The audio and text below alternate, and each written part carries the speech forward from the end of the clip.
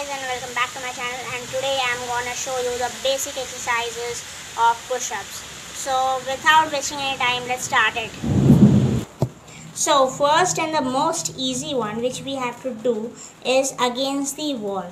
So everyone has a wall inside the house right. So we have to just do it. This push-up is very easy. You have to just lean against the wall like this and just do it.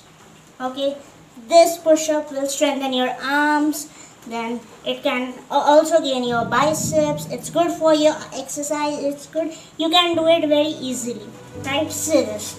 It's really very easy. So I just hope you guys like the easy process of the beginning of the push-up against the wall. It's very easy and you have to do it at least for one week. Then again I will come with the second level of the push-up.